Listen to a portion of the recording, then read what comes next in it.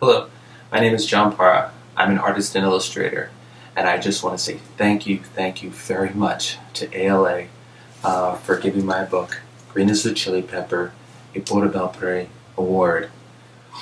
I received the call on Sunday night uh, from Chicago, and uh, there was a message on my phone saying, You have to call right away.